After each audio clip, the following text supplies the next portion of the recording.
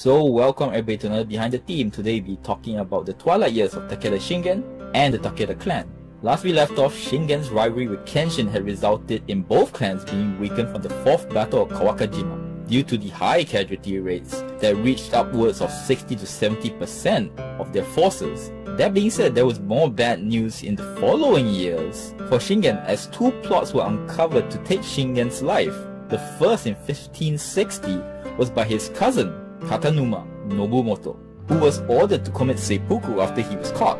The second in 1565 was masterminded by his own son, Takeda Yoshinobu, and, strangely, Shingen's old guardian, Obu Toramasa, who if you remember also helped Shingen to depose his father. Now Obu was made to commit suicide while Yoshinobu was confined to Tokoji Temple, where he died two years later.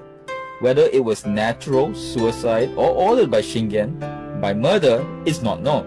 Now back to the story. The death of Yoshinobu left Shingen without heir, which unnerved some of the clan, but still this was quickly solved when Shingen had several sons in the years following. By 1564 he had subdued all of Shinano and shifted his attention to Kozuke, and even managed to take some castles from the Uesugi, after which he mostly concentrated on internal affairs for the next five years, also including raids and local conquests in the area.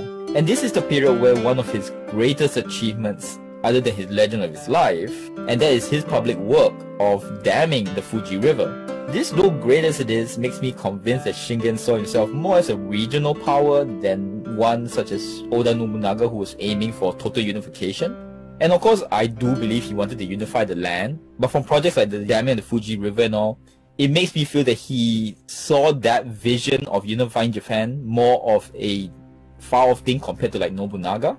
And the reason why, of course, is simply that the money and resources used to dam the Fuji River, I think under Oda Nobunaga, Tokugawa Ieyasu, and Toyotomi Hideyoshi, who have been put more to taking over the land through bribes, armies, and so on, and the damming the river project will probably come after unification. But that being said, he was still a visionary even setting progressive laws that tax everybody evenly, from the peasants to the samurais. He also did away with a lot of the corporal punishment for minor offenses, and actually was one of the few that actually allowed the payment of their taxes through gold instead of just rice, a forerunner of the Kandaka system. Now before we get back to another war Shingen will be involved in, I would be remiss not to talk about one of the more famous aspects of Shingen in war, which is his many banners, and of which the most famous is his Furin Kazan banner, which actually has a quote from Sun Tzu's Art of War that basically translates into move fast like the wind, remain compact like the forest, attack furiously like a fire, and defend yourself like a mountain. And it is this quote that Shingen lived his life by in terms of war strategies, life, and even his laws. So if you wish, you might actually want to contemplate on that line too. Now in 1568, Shingen moved his attention south to actually his past ally, the Imagawa. Now the Imagawa daimyo at this point was not Yoritomo, it was actually Ujizane, his son, as Yoritomo had got himself killed at the Battle of Okehazama by Oda Nobunaga, which is an interesting battle in itself. The weak leadership of Ujizane and the weakened state, the clan, had already lost them one of their vassals, the Matsudaira, which was led by Tokugawa Ieyasu, and the lands that he held, which was Mikawa province. Now at this point, even Shingen could see that the writing was on the wall for the Imagawa. Add to that the simple fact that the alliance between Takeda and Imagawa had been severely weakened when Yoshinobu died, and that was because Yoshinobu was married to an Imagawa princess, and thus with his betrayal and his death, that connection was basically lost. Thus, after talks with Tokugawa Ieyasu, Shingen made a deal with him to attack the Imagawa lands and split them among them both, the two lands being Totomi and Suruga. The Hojo was watching all this with great alarm and sent troops against Shingen with limited success. Now this success ended when Shingen counterattacked into Hojo lands, or Sagami, and even reached Odawara, which was the Hojo capital. Now Shingen was not able to take Odawara by siege and abandoned the siege quite quickly. But along the way back, the Hojo mounted an ambush but was beaten by Shingen at Mimase Toge After which in 1570, Hojo Ujiyasu died, and his heir, Ujimasa, made peace with the Takeda. Thus, at 49 years of age in 1570, the Takeda lands included Kai, Shinano, Suruga, Totomi, Hida, and bits of Kozuke. And at this point, he was basically the only lord east of Mino that was a direct threat to Oda Nobunaga.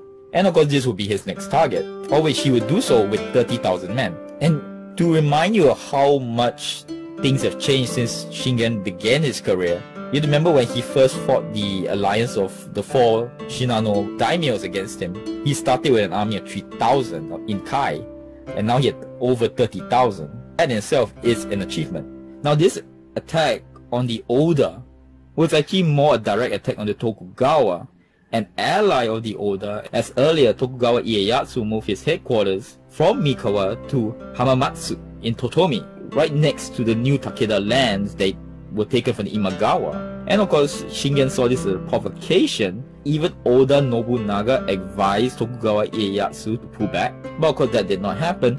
And to add fuel to the fire, Tokugawa Ieyasu then opened up talks with the Uesugi, which prompted Shingen to act very quickly. Now in this period too, the Oda were in talks with the Takeda clan actually to stem Uesugi power.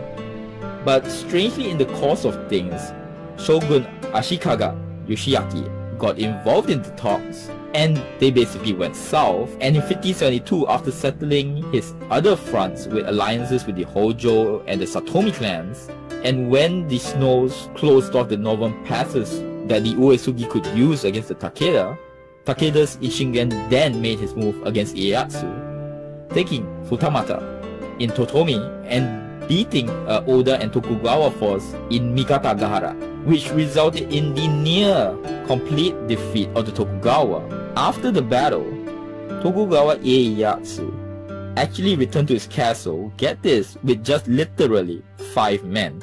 Now, he ordered that one of them basically lighted all the fires on the walls and then beat a drum and leave the gates to the castle completely open. And then he sent his ninja led by the famous Hattori Hanzo to go out and cause as much chaos as he could among the Takeda vanguard.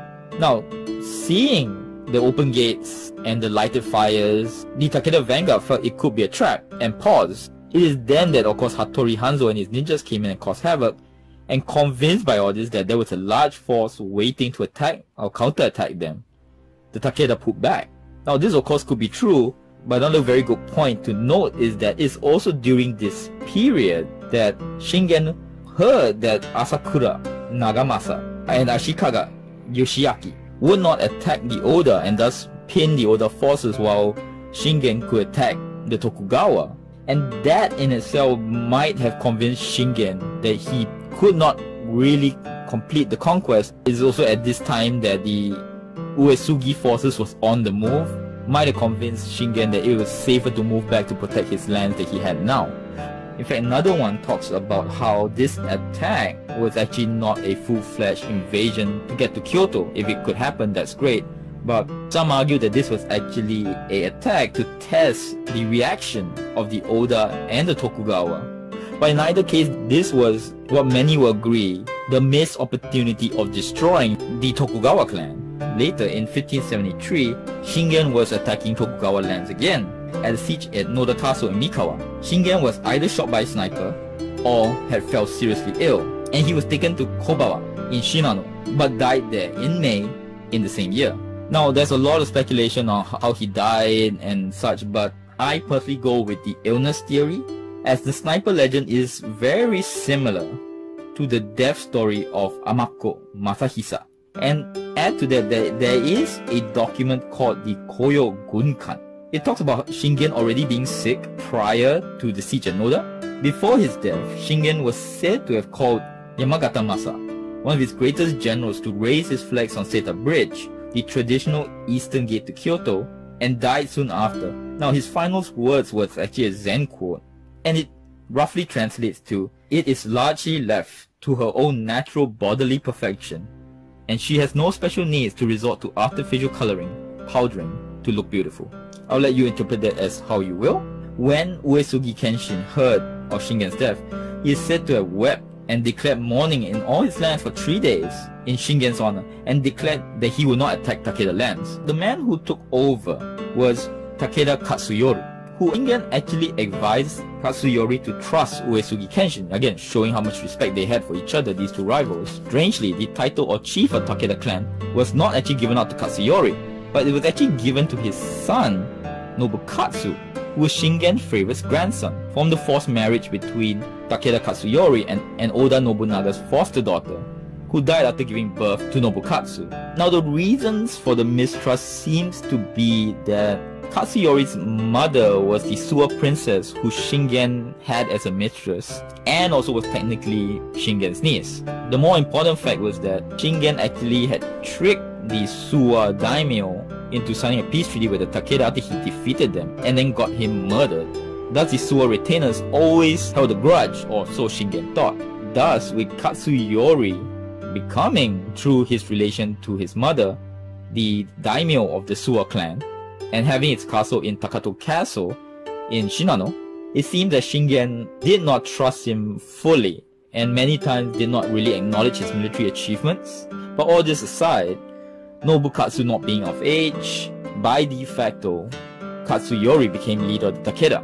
Now it is worth mentioning that Katsuyori, while not incompetent, could not live up to his father, but unfortunately he tried to get out of that shadow and extended his forces too much. And even with an alliance with the Uesugi to secure his northern borders, he basically lost the cream of the crop of the Takeda army at Nagashino against Oda Nobunaga. And then the Takeda clan was basically invaded from all sides and lost their place as a dominant clan at the Battle of Tenmokuzan, where Katsuyori also committed suicide.